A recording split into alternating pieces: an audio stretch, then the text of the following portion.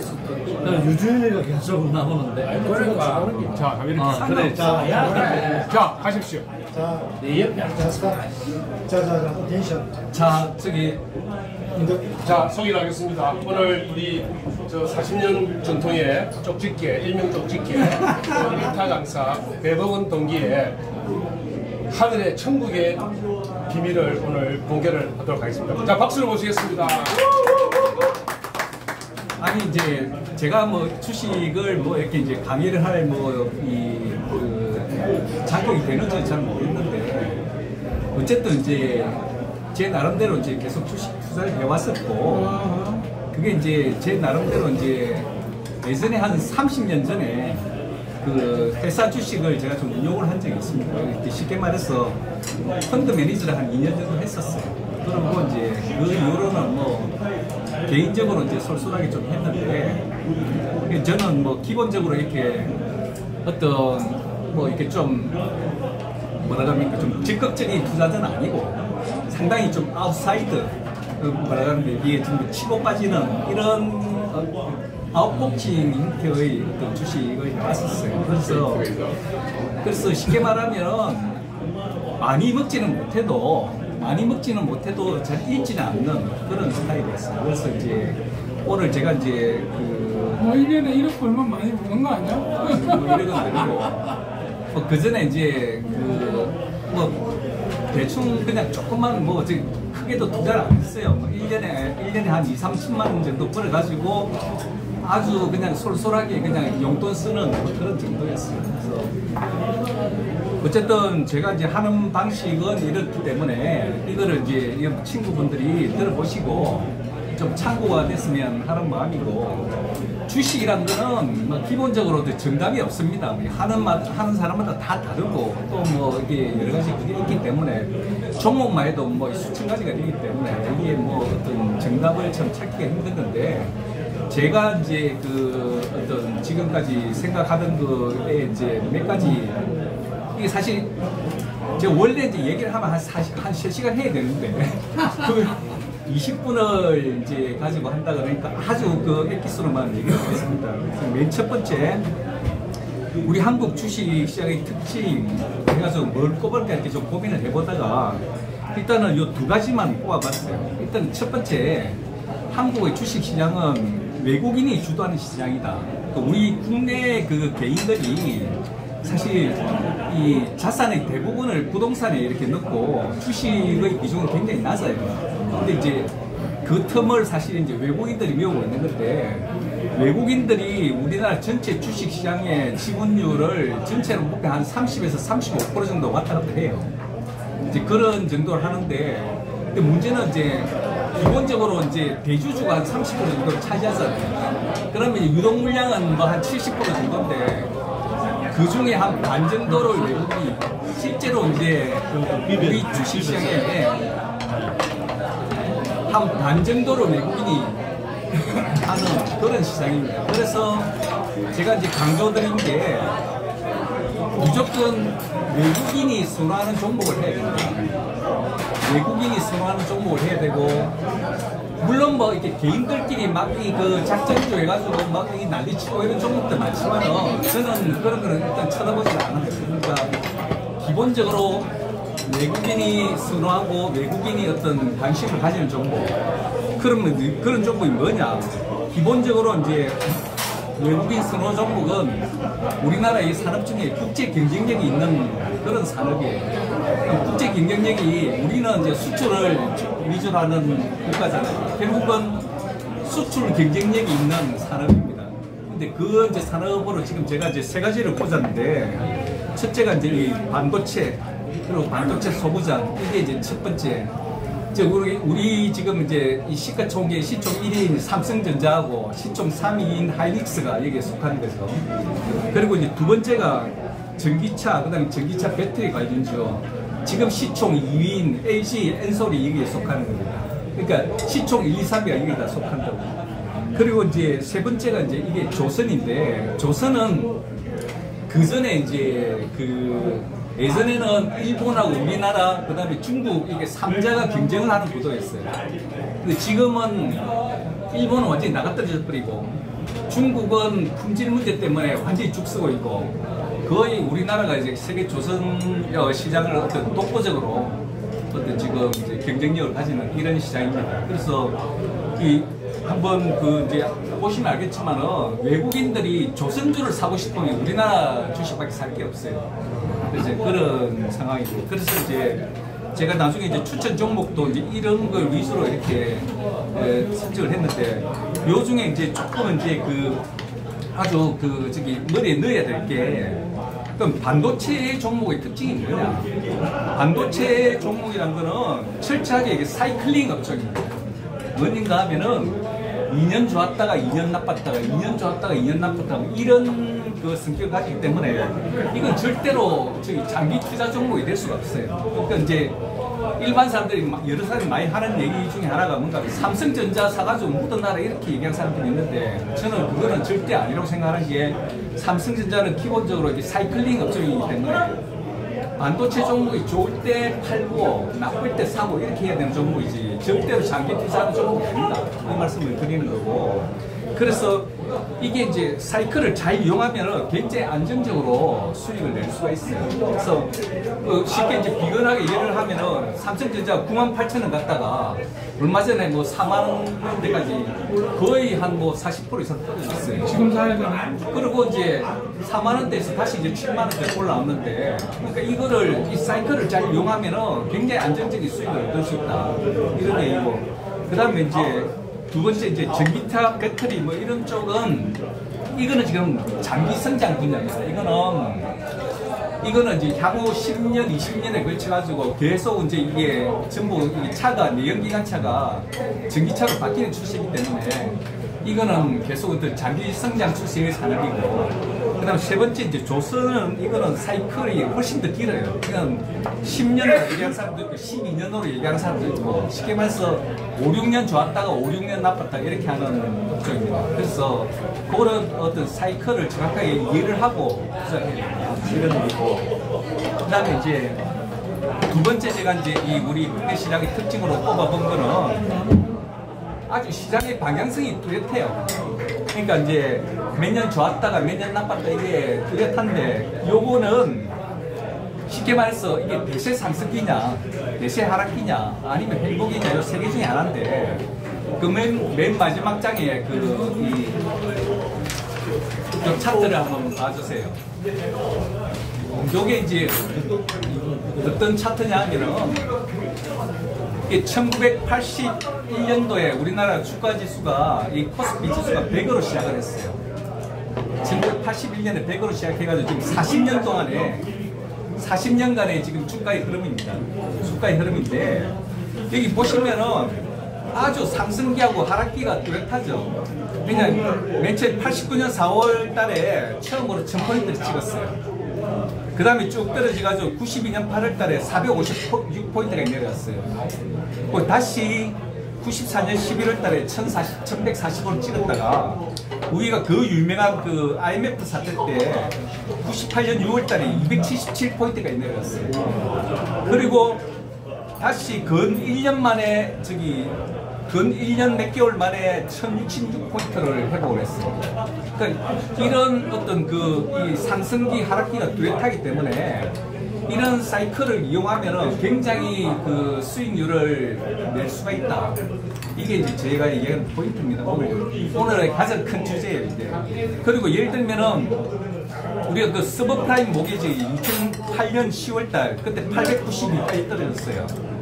그러다가 다시 거의 한 1년 반 만에 2011년 5월 달에 2229포인트를 회복을 했다고. 그러니까 결국 지수상으로만 해도 거의 두 배 반이 올라간 거예요. 그리고 이제 그 이후에 요거는 아주 이제 특별한 케이스인데 행복이가 쭉 계속됐어요. 그 이후에. 그러다가 이제 2018년 1월 달에 2600을 찍었다가 그 유명한 아, 저기 이제 코로나 사태 때 2020년 3월 달에 1430불을 찍었어요. 이 급전직하를 했는데 근데 아주 드라마틱하게 1년 3개월 만에 21년 6월 달에 3,300을 찍었어요. 그래서 아주 최근의 일인데 코로나 때 주식을 했던 사람들은 떼돈을 벌었습니다. 그 예를 들면 1,400포인트에서 3,300이 갔으니까 이때 산 사람들 무조건 딱답을 쳤어요. 그러니까 이렇게 이제 우리나라의 주식시장이 굉장히 이렇게 상승 하락이 뚜렷한 이런 그 장입니다. 그러니까 예를 들면 미국 장도 물론 뭐 상승 하락기가 있지만은 예를 들면 미국 다우지수 같은 거 보면 장기적으로 쭉 이렇게 오르는 스타일인데 우리는 막 폭락했다가 막 폭등했다가 이게 굉장히 심한 이런 장입니다. 그래서 어떻게 보면은 이게 굉장히 그 불안정한 장이면서도 또, 크, 또 거꾸로 보면 먹을 수 있는 그 기회도 많이 있다. 이런 장이고. 그럼 지금은 어떤 장이냐? 제가 여기 이제 2021년 6월 달에 3,300피를 찍고, 그 다음에 쭉 빠졌어요, 또. 2022년 9월 달, 그러니까 1년 3개월 만에 2,134까지 추락을 했어요. 그러다가 다시 이제 지금 한 2,550, 60, 오늘 64로 끝났나.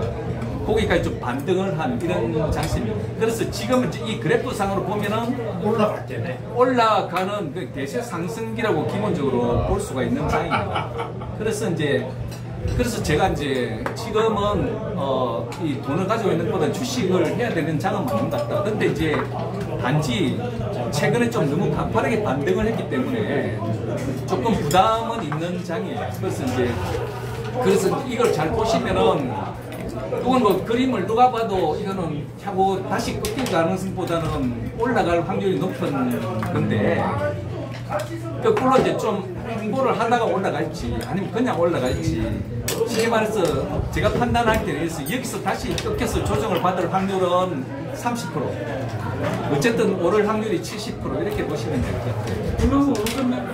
그래서 이제 다시 돌아갔어. 돌아가서 이제 제가 이제 이 투자 전략을 제안을 하는 어, 내용은 뭔가면 일단은 이제 종목을 어떻게 선정을 하느냐 그 어, 선정 기준인데 제가 위에서 했던 얘기입니다. 첫째 국제 경쟁력이 있고 영업이 이런 게 양호한 이런 이런 데다가 그 다음에 두 번째로 필요한 게 성장 모멘텀을 가진 기업 을 세 번째 싸게 싸야 된다. 그래서 예를 들면 지금 그 2차 전지 중에 에코 프로 뭐 이런 거 지금 연초에 10만 원 하다 지금 80만 원, 뭐 70만 원 왔는데 이거는 굉장히 그 저기 뭐야 좋은 기업인 건 사실인데 이게 싸게 살 수가 없는 지금 상태죠. 이걸 70만 원 사가지고 얼마나 먹을 수 있을지. 그래서 저는 이런 종목 하지 말자 이런 생각입니다. 그래서 그러면은 그 어떤 종목을 해야 되느냐. 그래서 이제 성장 모멘텀이라는 게 두 번째 그 성장 모멘텀이라는 게 굉장히 중요한데 이거 제가 이제 밑에 예시를 두 개 적어놨어요. 예전에 이제 기억을 하시겠지만은 우리가 삼성전자하고 LG전자가 옛날에 가슴을 가지고 붙을 때 그때 어느 회사가 더 좋은 회사였어요. LG 그때 특히 금승사 제품이 최고였어요. TV만 해도 금승사가 최고였어요. 근데 그 가전에서 같은 가전 회사인데 쉽게 말해서 LG는 가전으로 그냥 남아버리고 삼성은 반도체, 스마트폰 이런 이 새로운 성장 동력을 갖다가 추구했던 거예요.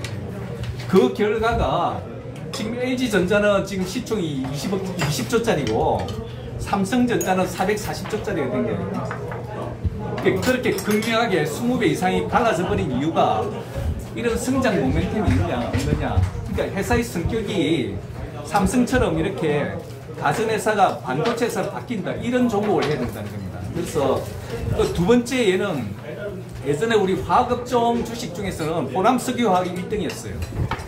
호남석유화학이 1등이었는데 LG화학이 한 2등 정도 됐어요. 근데 호남석유화학은 이제 롯데에 인수가 돼가지고 롯데케미칼이 돼 있는데 지금 보면 이거는 그냥 화학업종 그냥 남아 있어요. 근데 LG화학은 어떻게 바뀌었나요? 이건 2차 전지 자동차 배터리 업체 해가지고 자회사가 지금 100, 130조 시총으로 이 우리나라 그 시총 이익 1을 갖다가 자회사 80% 가진 이런 종목이 된 거예요. 그래서 어떻게 보면은 가장 중요한 게 사실 2번에 이렇게 성장 모멘텀이고 3번에 싸게 사야 된다. 이건데 그래서 이제 결론적으로 제가 이제 그 입장으로 넘어갔어. 두 페이지로 넘어가서 좀 거기에 이 맞는 종목을 원래는 제가 이제 다섯 종목을 택해가지고 원래 이제 그 LG전자 우선주 그다음에 이번 두 번째 이제 반도체 소보장 세 종목 조선기자재 한 종목 이렇게 다섯 종목으로 이제 원래 설명을 드리려고 했는데 뭐 시간도 시간이고 그래서 일단은 LG전자 우선주 한 종목만 설명을 드릴게요. 설명을 드리고 이거는 아까 제가 이제 성장 모멘텀이 중요하다고 얘기했잖아요. LG전자가 지금까지 20조짜리 회사로 LG그룹의 그 저기 뭐야 그 모태 회사 비슷한 건데 이게 아직 20조짜리로 남아 있는 이유가 뭔가 하면 가슴만 했기 때문입니다. 근데 이제 지금 최근에 보면은 LG전자가 전장, 그러니까 전기차 전장 업체로 지금 이제 계속 변신을 하려고 지금 시도를 하고 있는데 그래서 이게 이제 그 여러 가지 이제 제가 이제 첫 번째 이제 프리미엄 가전 분야에서 지금 세계 1등이에요. 가전은 세계 1등인데 그 월풀인가 이걸 제쳤어요. 세계 1등인데 그다음에 이제 두 번째로 얘 얘네가 그 저기 저기 주가가 못 갔던 이큰 이유 중에 하나가 계속 휴대폰 분야에서 적자가 났어요. 근데 이게 작년에 이제 그 정리가 끝났고 그래서 이게 적자 부분 항상 그 적자 부분이 없어졌어요.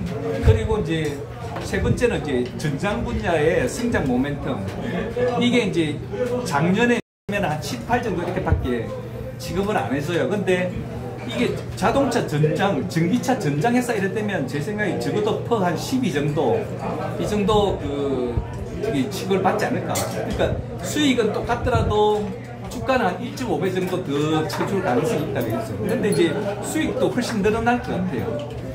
이 수익이 왜 늘어났냐도 제가 이제 설명을 하려면 한 10분 이상 설명을 해야 되는데 그거는 차치하고 제가 그 예상을 하는 거는 한 2024년에 영업이 한 5조 정도가 가능할 것 같아요. 이제 그런 정도 예상대. 그러면은 이제 어 LG전자 본주를 안 사고 왜 우선주를 사느냐? 우선주를 사냐면 맨그 밑줄인데 LG전자 우선주가 본주의 43%밖에 안 돼요. 그러니까 이제 예를 들면 삼성전자 같은 경우에는 90%까지 갔다가 지금 많이 떨어져가지고 83%인데 얘는 왜 그러면은 본주의 43%밖에 안 되느냐? 배당을 안 해주니까.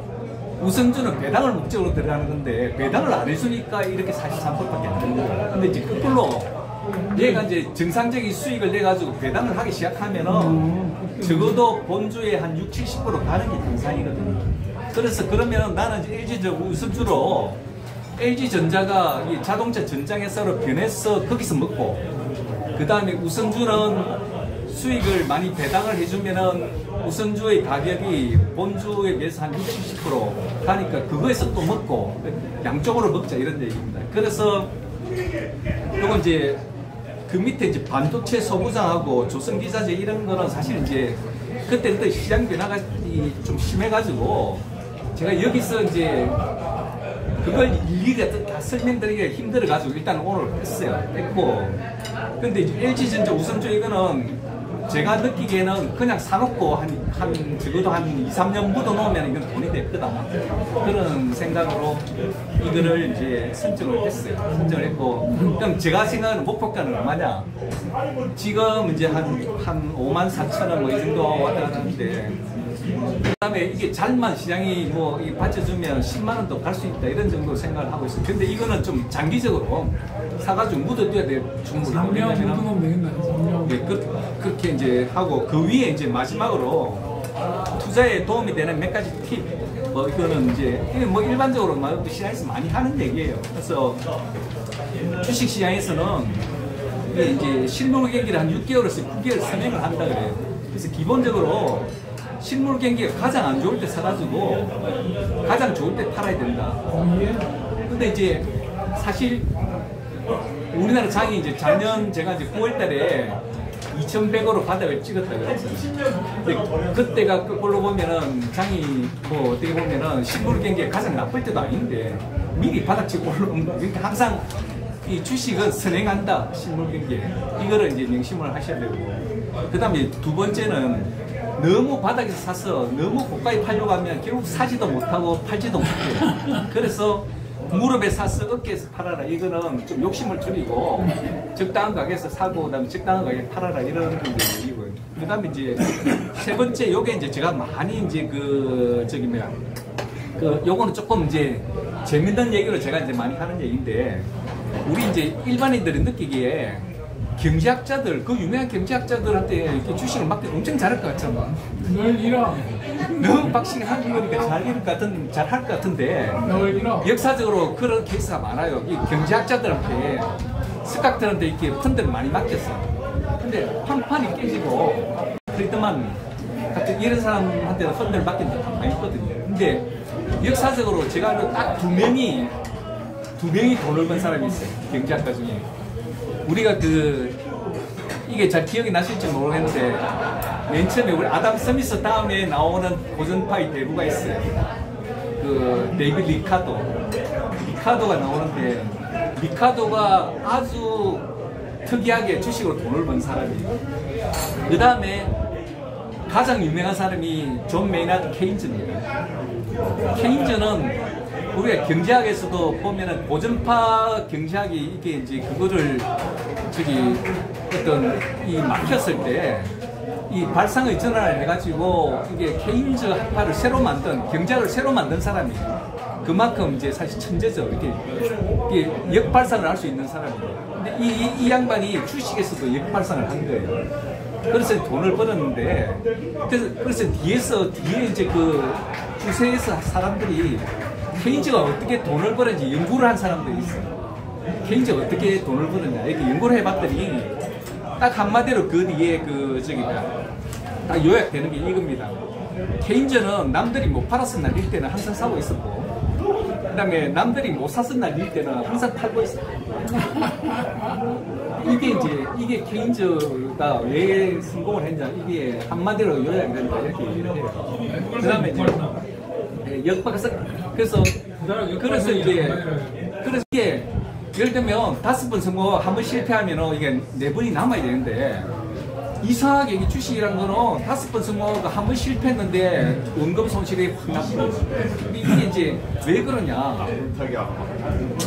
이게 오를 때는 이 모니터를 보고 있으면 오를 때는 손이 나가게 돼 있어. 10% 오르면 대부분 팔어. 그러니까 이제 오를 때는 짧게 먹고 떨어질 때는 또 못 팔아. 끝까지 그냥 가지고 있다 보면 나중에 반 토막 반에 반 토막 나가지고 닳고 따라가지고 이제 던지고 나는데 그때가 바닥이 돼 이게 이제 이게 개인 투자가들의 대표적인 실패 사례입니다. 그래서 제가 주장을 하는 걸 반대로 하자 이겁니다.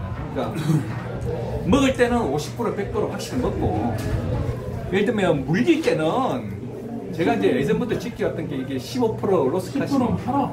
그러니까 15% 로스카스를 그 지켰기 때문에 제가 지금까지 큰 손실을 본 적이 없는 거예요. 그래서 물론 종목 선정을 잘하면은 15% 손실 나는 경우도 거의 없어요. 거의 없고 그러니까 뭐 이상한 뭐 저기 작전주 무슨 뭐 테마주 이런 거 하다 보면은 뭐 이건 뭐 반토막도 나고 반의 반토막도 나고 이렇게 하거든. 뭐 가장 뭐 테마주도 아니지만 가장 근접한 예로 한동안 우리 저기 카카오, 네이버 이런 주식들이 엄청나게 주식 올라갔잖아요. 예를 들면 네이버가 뭐 48만 원 가고 카카오가 뭐 18만 원 가고 이렇게 하는데 지금은 얼마나 하냐? 네이버가 18만 원 하고 카카오가 4만 몇천 원 해요. 저 그러니까 결국 3분의 1 토막이 난 거예요. 근데 그, 그 끝까지 갈 것 같은 종목도 3분의 1 토막이 나요. 그래서 그래서 중요한 게 이런 로스카트를 지키자 이게 이제 중요한 겁니다. 그래서 어쨌든 그렇게 하면서 이제 제가 이제 또 한 가지 그 저기다 그 앞장에 맨 앞장으로 돌아가지고 한 가지 얘기하는 게 그 투자 전략 제안에서 두 번째 부분 이게 제가 이제 마지막으로 제가 하락기를 보여드렸잖아요. 그럴 때 그럴 때 나머지 3분의 1을 들어가서 투자를 하자. 이거 맞으면 이거는 그냥 답답을 나오거든요. 그래서 가장 최근에 예를 저 코로나 때 그때 사람들이 주가지수 1400 간다, 1400 가니까 1100 간다 그랬거든요.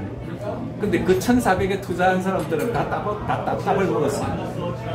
그런, 그런 이제 기회를 잡자. 이게 이제 제가 이제 결론적으로 얘기하는 건데. 그러니까 평소에 그냥 좀 저기 용돈 버는 식으로 조금씩 하다가 우리나라 아까 주식시장 제가 40년치를 보여드렸지만은 거의 한 5년 단위, 3, 3 4년 단위로 기회가 한 번씩 옵니다.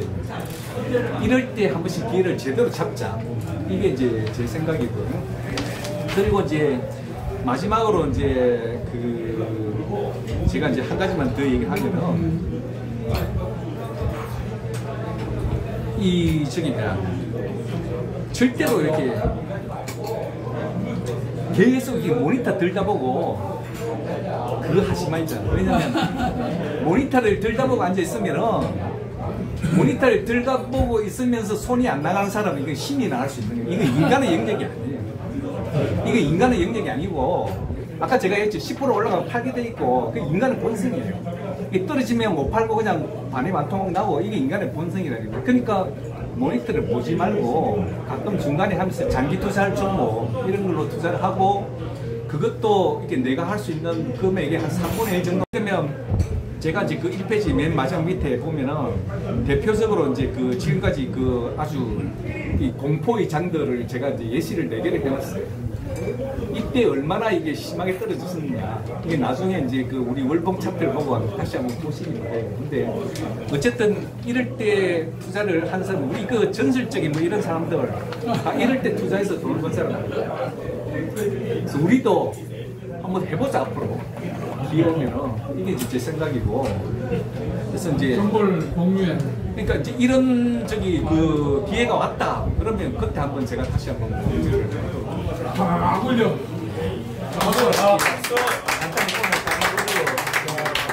일단 내일 LG전자 우선주부터 사주네.